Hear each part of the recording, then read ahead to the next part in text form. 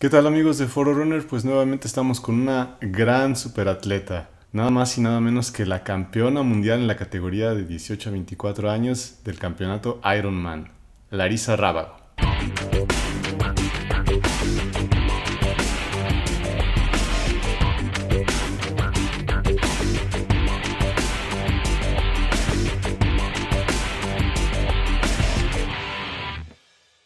Larisa, pues muchísimas gracias por recibirnos aquí en, en tu casa y pues darnos la oportunidad de platicar contigo.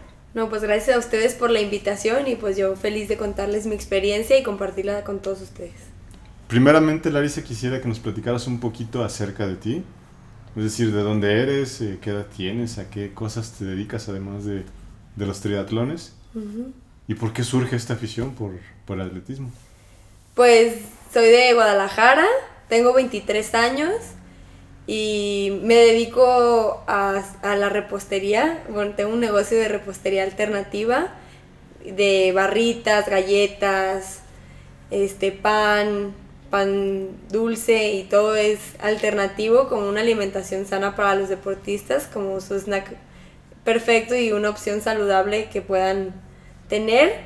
Y, y pues mi afición por el triatlón surge a los 17 años este, con los Exterra, porque ya hacía bici de montaña y pues ya estaba como un poquito envuelta en, en el tema de lo que era la montaña y luego me invitaron al Exterra y me encantó y pues desde ese desde esa competencia como que me entró una, una afición muy grande por el deporte de triatlón porque siempre he sido deportista, siempre estuve en la escuela en todos los talleres.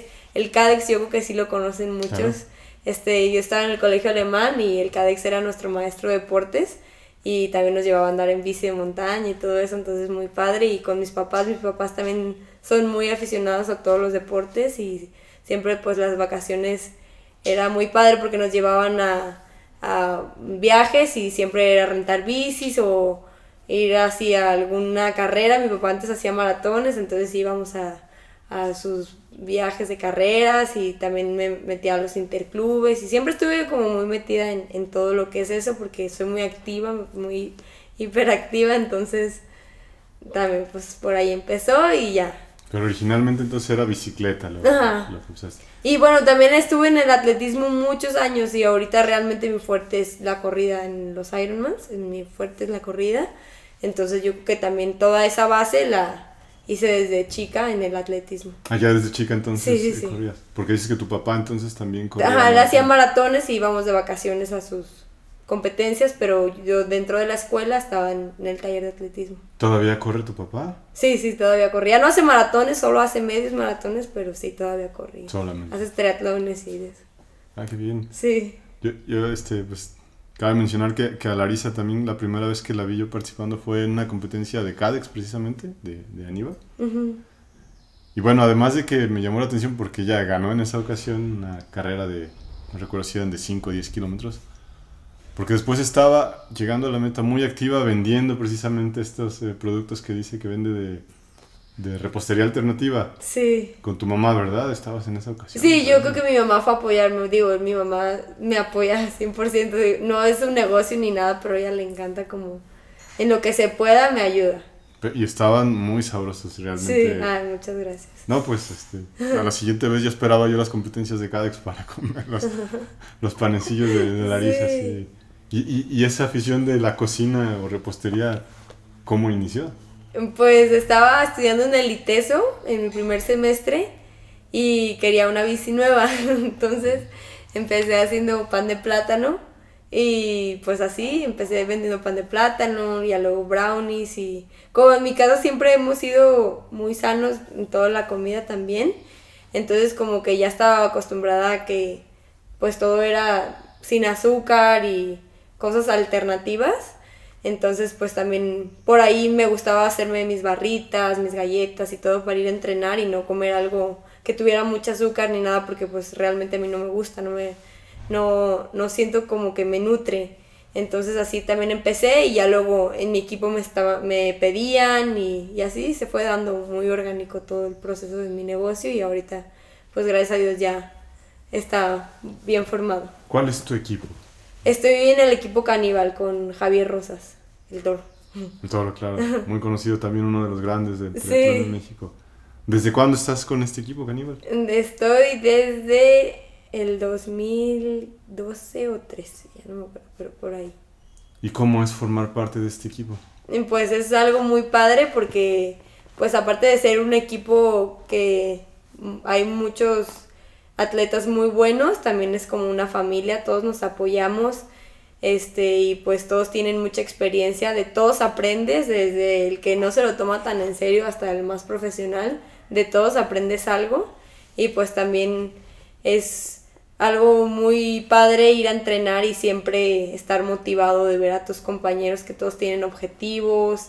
El entrenador, bueno, Javier Rosas, el toro, y Humberto Jiménez, el Pisitas, yo creo que también lo conocen por ahí. Es un trabajo pues de mucha calidad porque el toro es como la mente y Pisitas es el apoyo como espiritual, siempre te da todos los consejos así como que necesitas en una carrera, no tanto el físico, sino el emocional. Entonces es un complemento muy chido y estoy súper agradecida con ellos. ¿Como cuántas personas hay dentro del equipo Caníbal? Uy, muchas, como yo creo que unas 80. 80. Ya contando, porque hay muchos caníbales que están en otros estados y pues sí, sí hay bastantes, pero muy padre. Ah, se extiende además de, de aquí de Guadalajara el equipo. Sí, sí, sí. Sí, hay algunos que están en Estado de México, Los Cabos. O... ¿Y por qué caníbales? ¿Por qué me metí ahí? No, no digo el nombre, ¿por qué Ah. el nombre de caníbales? Pues porque todos son muy guerreros, se comen los unos a los otros todos los días en las, o sea, en los entrenos es una competencia. Digo, no siempre, ¿verdad? Pero eso también yo creo que ayuda a que puedas siempre dar un poco más porque siempre quieres ir pues dando el extra, el que siempre hay alguien adelante de ti y quieres ir con esa persona, entonces siempre es ir jalando unos a los otros, entonces está... ¿Y por qué bien. te metiste con ellos? Ah, porque es- estoy ahí en el club Las Lomas Ujú. Y ahí la natación estaba formada por varios del equipo caníbal. Entonces, y, pues el toro es quien organiza Exterra, bueno, es como el director técnico de Exterra México. Y pues en el club tienen la franquicia, como que se fue dando súper natural y me metí con él. Te dijeron, eres buena para la bicicleta, vente. Pues no tanto así, digo, yo tuve que ir a buscar al toro, ¿verdad? Pero pues quería entrenar más en forma, me encantaba el deporte y dije, ¿cómo puedo mejorar? Y sabía que él era pues como la máxima, eh, este, no sé, como el entrenador más, más grande que hay hay aquí en Guadalajara de triatlón y fue con él. Sí, efectivamente. Sí. ¿Y actualmente cuánto tiempo dedicas en preparación para eh, tus competencias? Pues son muchas horas al día, como unas seis horas al día o a veces más, porque pues son tres disciplinas, entonces en las tres disciplinas tienes que estar pues muy fino, tienes que tener la distancia y también técnica, calidad, todo, entonces son las tres disciplinas, pero aparte está también toda la fuerza que es de gimnasio y ejercicios con el propio peso y todo eso y pues también la recuperación, masajes, este, terapias, todo, todo. Alimentación. Es un, es un deporte que te demanda mucho tiempo, pero a la vez es increíble. O sea, ya cuando cruzas todo la meta, todo el camino que tuviste que recorrer, todos, todas las horas invertidas, es, o sea, vale 100% la pena. Y, y dedicando tanto tiempo de, pues, de tu vida diaria a este deporte, ¿qué impacto tiene en tu vida personal? De, por un lado con tu familia, eh, con tus amigos, ¿hay oportunidad de, de hacer otras cosas? Además de cocinar. Sí, pues con mi familia es algo muy bonito porque mi hermano también entrena, entonces entrenamos juntos y pues por esa parte es siempre tener a alguien que me acompaña a entrenar, entonces también es muy padre y como es hombre, entonces también siempre me ayuda a dar más. Este, y pues mis papás también son increíbles, siempre me dan su apoyo, siempre la, o sea, lo que mi hermano y yo les pedimos así como en plan alimentación y todo eso, en mi casa se adaptan y eso también es algo que cuenta muchísimo. Y pues con mis amigos ya, ya, ya me conocen cómo soy, que soy así que no, en la noche no salgo, todo eso, pero también es difícil, yo los entiendo que dicen, no, yo creo que qué flojera con, con Larisa que nunca quiere ir a ninguna parte, pero pues también es muy padre tener amigos que no solo están dentro del triatlón, también te ayudan a despejarte.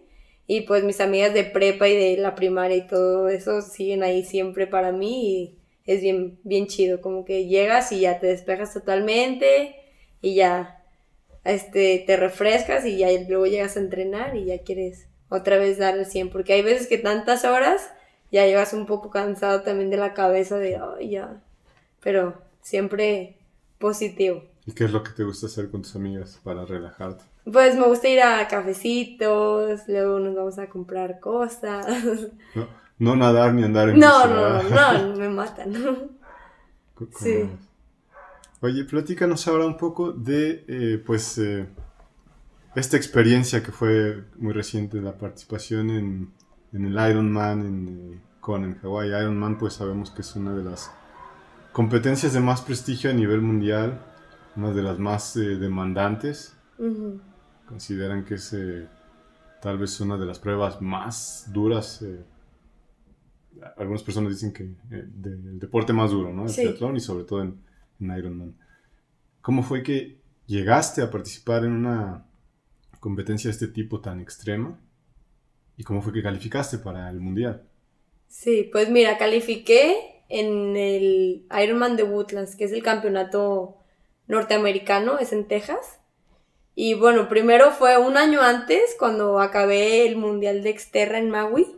Ahí como que me entró una espinita, no sé, de la nada, dije, quiero ser un Ironman así de ser la más montañera, quería ser un Ironman. Y luego mi hermano y mis papás y así como que, ¿qué? Estás loca, no, estás muy chica, tienes, ahí tenía 22. No vas a poder hacerlo, estás muy chica, tu cuerpo todavía no está maduro y todo, pero yo dije, no, no me importa, yo quiero hacerlo. Y ya me entró esa obsesión, como soy un poquito obsesiva y un poquito intensa, este, así empecé y pues todo el año, o sea, desde enero, bueno, yo creo que desde antes ya mi cabeza ya estaba programada que yo quería hacer el Ironman. Entonces todos los días me despertaba motivada a Woodlands. Y pues ya llegó el día de Woodlands. Ese día fue un día muy duro porque llovió durísimo. Hacía un calor también, era en mayo. Y en Texas hay muchísima humedad y hace muchísimo calor. Entonces, primero empezó la carrera, nadé muy bien, salí en la bici, pues iba bien, pero como era mi primer Ironman, y en Estados Unidos las mujeres ruedan impresionante, o sea, te pasan como motos, fum, fum, me pasaban, y como que al principio pues me cuesta como que asimilar eso de que estaba en un Ironman, este, las mujeres son fuertísimas y como que concentrarme en lo que es lo mío y no enfocarme en las demás, porque como soy competitiva, pues siempre quería ir ahí, pero dije, no, cuántas horas, tanto, no, tengo que concentrarme y pues ahí bien.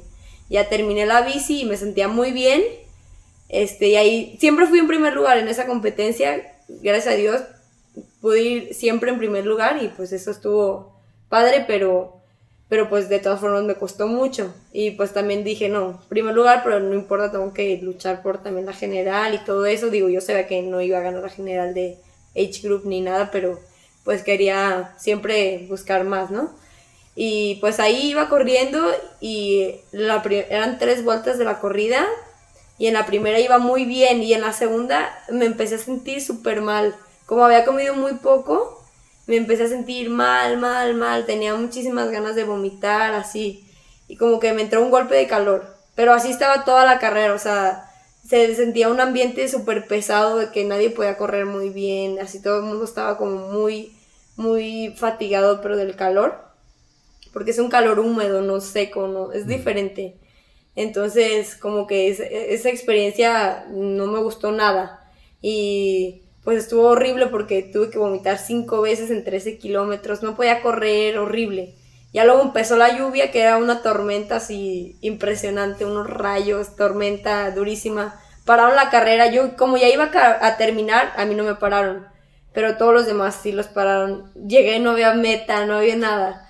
Entonces estaba pues muy contenta porque había sido mi primer Ironman, pero me había quedado con una espina de que no había podido correr bien porque la corrida es muy fuerte. Entonces yo dije, ¿cómo no corrí bien tanto que me preparé para el maratón, no, no me vuelve a pasar esto.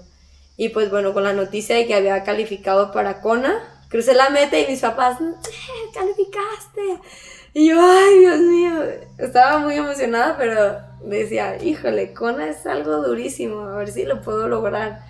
Estoy muy chica, o sea, hay gente que lo intenta cinco veces y califica hasta la sexta vez, o sea, hay mucha gente que lo intenta varias veces y como que para mí haberlo haber calificado a la primera vez era como pues no sé, estaba impactada. No lo esperaba. Sí, no lo esperaba y pero tenía un poquito de miedo, pero bueno, dije, bueno, si hay varias mujeres de mi edad que lo hacen porque no puedo, entonces ya me cambió el chip desde que llegué a la premiación y vi todo el todo lo que porque en la premiación solo van los que ganan, ¿no? Ya no van los primeros cinco lugares de todas las categorías van a la premiación. Ya los demás pues ya para qué van si no van a recibir pues nada del slot ni nada. Entonces llegas a, esa premiación y es impactante ver a todos súper fuertes, así con pues todos con una energía impresionante, entonces me, me, impactó mucho ese momento porque dije, no, yo quiero hacer esto toda mi vida y quiero ser parte de este grupo y ahí me quiero quedar. Entonces como que me entró también ya la nueva meta que era Kona. Entonces, pues desde que llegué, descansé un poquito, unas dos semanas, luego me enfermé porque el cuerpo pues lo resiente. Y ya desde que me, me curé y todo, empecé a entrenar durísimo. O sea, nuestros entrenos estaban muy fuertes, todas las semanas eran distancia, distancia, distancia, distancia, pero siempre muy motivada, siempre estaba motivada, entrenaba con Edgar López, el otro caníbal que también calificó y él había quedado segundo lugar en la Ironman Los Cabos, en la general, atrás de Fer Vargas, no sé si conozcan a Fer, pero él ganó el general de Cabos y también son excelentes atletas y pues muy amigos míos y pues de ellos he aprendido muchísimo como todo todo que tienes que ser paciente, no atascarte desde el principio, todo eso. Y pues entrenando con él, este, fue como también he aprendido bastante. Y pues así fue todo, todo el verano prácticamente de preparación. Y, y después de eso, el 26 de agosto me fui a Australia. Australia para el Mundial de Medio Ironman. Ahí en el Mundial de Medio Ironman había, o sea, había calificado para esa competencia en Monterrey, que fue en marzo. Y ahí me fue muy bien, califiqué con 4.37 y había sido la primera age group de toda la general, gané la general y mi categoría, entonces estaba pues muy feliz, pero no estaba entrenando tanta velocidad para esa competencia, porque esa competencia es más de resistencia, pues como la mitad es velocidad. Pero bueno, entonces platiqué con mis entrenadores y me dijeron, bueno, tienes que enfocarte solo a una, porque falta un mes para Kona y no puedes, o sea, el cuerpo no alcanza a recuperarse al 100 si le metes a full en una o en otra. Entonces dije, bueno, pues si tienen razón, mi objetivo es Kona, no me voy a, a sentir como presionada ni nada, pero pues voy a hacer mi carrera.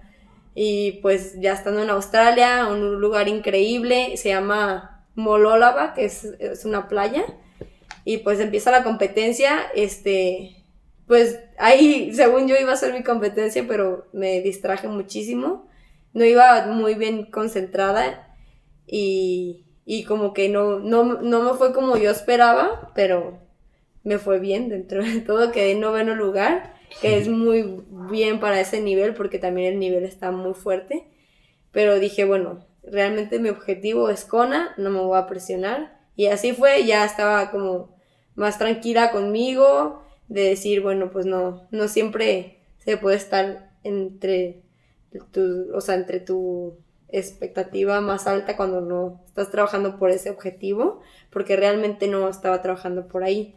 Y ya luego me fui a Kona y a Kona llegué un mes antes. Entonces ahí en Kona este, tuve la oportunidad de conocer gente pues muy, muy padre, muy gente increíble que ya, había ido 12 veces a Kona, 10 veces, o sea que ya llevan toda su vida, que su, toda su vida se la han dedicado al Ironman realmente y pues todos ellos me, han, me dieron muchos consejos de que es una competencia que también, o sea, más que física, también es muy mental, de hacer una estrategia, no desgastarte desde antes y todo. Y pues bueno, hice la ruta de la bici dos veces, que es una ruta súper exigente, el recorrido es durísimo. Como hay tres volcanes, hace mucho calor. Entonces, está, y todo el norte de la isla está cubierto de lava. Entonces, pues pasas por unos paisajes también increíbles, pero el viento, el calor y todo es súper, súper fuerte. Entonces ya, dos fines de semana fui a la ruta, entre semana hacia la mitad, regresaba. La ruta del maratón también es muy exigente, tiene muchas subidas y hace muchísimo calor. Luego te mandan a un lugar que se llama los Energy Labs, que son como, pues son unos laboratorios que están como un poquito abajo del nivel del mar, entonces ahí se siente mucho calor. Y son como muy famosos dentro del mundo del Ironman porque todos dicen, no, los Energy Labs Ahí es la parte más difícil como no dejan entrar a ningún espectador, solo, vas, solo van los corredores y, y ya, o sea, y los voluntarios que te están dando agua y eso, pero no va ni tu familia ni nada. Entonces ahí es como donde entra la parte mental que ahí te sientes solo. Y pues ya, ya iba muy preparada para todas esas situaciones. Y pues bueno, desde una semana antes ya ya eso, o sea, ya Kona se convierte en Ironman, o sea, es impresionante. Toda la isla está repleta de, de publicidad de todas las marcas, de las mejores marcas de todo el mundo de triatlón, así está full y es así, pues para todos los triatletas y no triatletas, corredores, lo que sea, es súper emocionante ir a la expo y todo. Ah, sacan todos los modelos nuevos de bicis, es como así es algo increíble, pero pues también no, me quería perder mucha energía ahí, o sea, tenía que estar descansando porque hay tanta energía, tanta gente que hasta se te pierde tu propia energía, ¿sí me entiendes? Hay tanta, tanta, tanta que al día quieres estar a tope. Y ya dije, no, a ver, descansa, relájate, pues ya ni modo, te lo vas a perder, pero pues hay que estar concentrada y pues así fue. Y ya pues llegó el día de la competencia, bueno, un día antes de que vivís y todo, viendo todos los pros, así, no, no podía creer que ya estaba viviendo ese momento. Así llegas y de la transición más increíble del planeta, así en el puerto de Kona, con todas las bicis, todo el mundo se ve súper pro, así, no, chidísimo. Y pues bueno, ya, esa noche pues descansé bien, fue lo bueno que descansé muy bien y pues ya llegó el, punto que ya estaba en la línea y dije, bueno, ya, estaba súper nerviosa todas las horas antes, pero en el momento que estaba en la línea estaba tranquila y dije, bueno, ya estoy aquí, ya solo me queda disfrutarlo, no, no soy profesional, no lo voy a ganar, no me van a pagar por esto, solo tengo que disfrutarlo. Y pues ya empezó, estábamos, dejan 20 minutos flotando ahí en el mar y ya luego dan la salida, y porque los hombres salen 20 minutos antes. Entonces éramos como 800 mujeres, todas ahí flotando y los golpes y todos son durísimos desde antes porque pues todos quieren flotar, entonces... Y pues ya dan la salida, igual dos kilómetros pues para adentro y luego para fuera y pues ahí es una lucha, todo el tiempo vas con muchísima gente arriba de ti, todos quieren nadar, nadar, nadar son golpes, te quitan los gogles, así, pero pues es darle, ni modo, ya, te lo quitan, pues los busques otra vez, así. Y pues bueno, eso fue una experiencia también de, bueno, abrirme más, todo, o sea, todo, siguiente año que vuelva, pues ya tengo como la referencia, pero pues de todas formas estuvo muy padre. Este, y luego en la bici, pues igual, te pasan y te pasan grupos de gente que van durísimo y de impactas, dices, no manches, ¿cómo pueden dar toda la carrera a esta velocidad? Y luego te las vuelves a encontrar y ya, sin nada. Es que son tantas horas que tienes que administrarte súper bien. Y pues bueno, la bici también increíble, ver todos los paisajes, el viento durísimo, ese día nos estuvo el viento, o sea, más que nunca, durísimo. Este, y luego ver a todos los hombres porque hay un punto en que te cruzas con los pros y con los hombres que ya van antes y van durísimo todos y pues, te motiva verlos, es impresionante. Y pues ya así, así estuvo todo el recorrido, ya luego bajé de Javi, luego todo lo que quedaba, llegué a la transición y como que sí había visto más o menos por el número porque no te ponen letra, es por número de categoría y había visto que me habían pasado algunas de mi categoría, pero igual dije, bueno, ya, no importa, estás en un campeonato mundial, ni modo, o sea, lo que salga es bueno, no te, no te eh, sugestiones ni nada, pero pues, pues bien, entonces ahí en la, en la transición así estuve pensando y dije, bueno, ahora sí voy a correr un maratón como quiero, haciendo lo que más me gusta, después de haber rodado durísimo 180 kilómetros, ni modo, o sea, lo voy a sacar bien y me va a ir súper bien. Ya lo que pasó, pasó. Ahora sigue un maratón. Y pues ya en cuanto salí me empecé a sentir súper bien y súper feliz, súper llena de vida. Veía muchísima gente y pues todo el mundo te grita, te apoya. Y ya luego me encontré a, mi hermano y me dice, vas cuarto, vas súper bien. Me dice, pero tú traes otra cara, tú vas feliz y todas, tus, todas las que van adelante de ti ya están muertas, se les ve en su cara tú traes otra cara. Y yo dije, no, pues sí es cierto. Yo lo estoy disfrutando muchísimo igual y, y pues voy a luchar por todo para ganar. O sea, si ahorita ya van cansadas, todavía falta un maratón. En un maratón todo puede pasar. Y como que eso me abrió muchísimo el panorama de que podía ganar. Y todo el tiempo estuve pensando en Mirinda Carfree, no sé si la ubican, es Rini, la campeona. Ha quedado tres veces campeona en Ironman y bueno, este año quedó segundo y el año pasado abandonó, pero es súper buena corredora. Tiene el récord de todas las mujeres y en el 2014 hizo la segunda mejor corrida contando a los hombres. O sea, es un crack. Entonces, como que todo el tiempo estuve pensando en ella, en que sale atrás del agua en la bici y ahí más o menos se la lleva conservadora y llega a atacar en la corrida. Entonces yo dije, bueno, así yo lo voy a hacer. Y así fue mi estrategia y primero alcancé a la que iba en tercero, que era una brasileña que ya había entrenado con ella porque también llegó un mes antes y éramos amigas. Y ya me dice, no, ya voy fundida, ya, ya. Y le digo, pues no, venga. Entonces ya ahí me empecé a motivar más, más, más. Luego pasé al segundo lugar, que nunca la vi, pero la pasé. Y ya de repente ya estaba en la subida, hay una subida muy dura que se llama Palani Road, de repente ya estaba ahí, ya la, ya la había hecho, todo el mundo me decía, ahí caminas, nadie puede correr, y yo lo había subido corriendo y súper bien. Y decía, no, ya, ¿qué está pasando? Qué bien me siento. Y pues obviamente ahí también súper motivada, y ya de repente, como en el 14 me alcanzó una española, pero era más grande, ella ya había ido como unas seis veces a Kona tenía 35, se llama Lucía, y nos fuimos juntas todo el tiempo, corríamos súper parecido, y nos fuimos juntas desde el 15 como hasta el 40. Entonces, pues así como si fuera un entreno, o sea, corriendo, platicando poquito, pero concentradas. Y de repente ya estábamos entrando al Energy Lab. Y ya entrando al Energy Lab, lo hicimos súper rápido y salimos. De repente ya había pasado la parte más difícil. Yo decía, ¿cómo? Ya pasé la parte más difícil y ni siquiera lo sentí. Entonces también, pues, increíble cómo la cabeza tú, tú la programas. Si vas a programar que es la parte más difícil, que ahí vas a sufrir cañón, pues vas a sufrirlo. Pero si se te pasa rápido, vas distraída en otras cosas, pues lo vas a hacer mucho mejor. Entonces ya, y mi hermano me había dicho, si sigues corriendo a mismo paso, en el kilómetro 32 vas a alcanzar la italiana, que era la que iba en el primer lugar.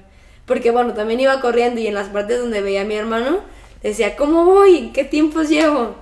Me decía, no, vas muy bien ahí y en el kilómetro 32, no le subas ni le bajes, ahí la alcanzas. Y dicho y hecho, llegué al 32, estaba la italiana, le apretamos poquito y ahí ya no, ahí sentí, dije, no, no puedo, no, no puedo creer, o sea, no lo podía creer.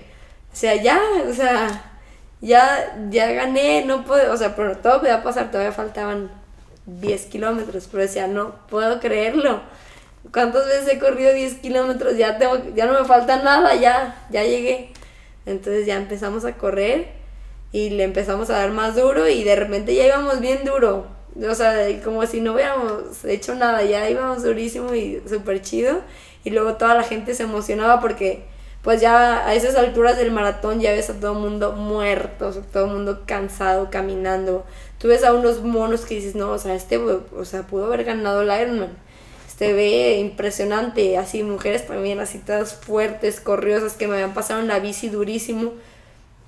Y decía, no, no, no, qué increíble, así no lo podía creer.